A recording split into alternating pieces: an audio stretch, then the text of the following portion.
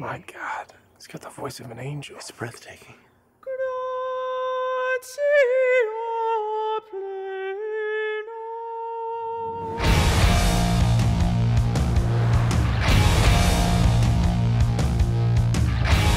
I told myself I would never come back. Don't worry, it all ends tonight.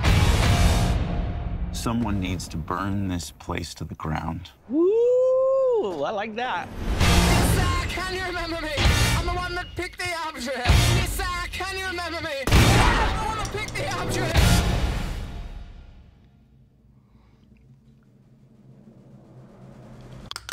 Your